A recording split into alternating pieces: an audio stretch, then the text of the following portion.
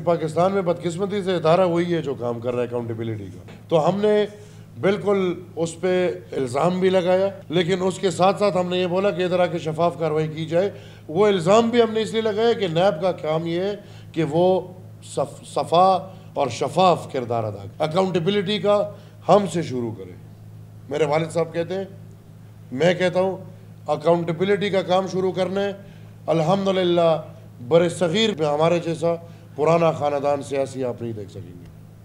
सन 1910 जब पाकिस्तान का वजूद नहीं था, तब से हम सियासत कर रहे हैं।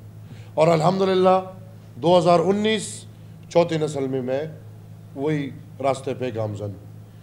मैं, मेरा वालिद सबसे पहले बोलते हैं कि अगर नैब सही कार्रवाई करे, हम से शुरू करे। अगर हम में कोई गलती निकले, जेलों में नहीं भेजना, कौम के सामने हमें सज़ा मिलनी चाहिए। और उसके बाद शफाफ तरीके से जितने सियासतदान हैं उनको भी करें। और ये बाकी लोग भी फरिश्ते नहीं हैं। उनमें से भी बहुत ज़्यादा करप्शनें हुई हैं।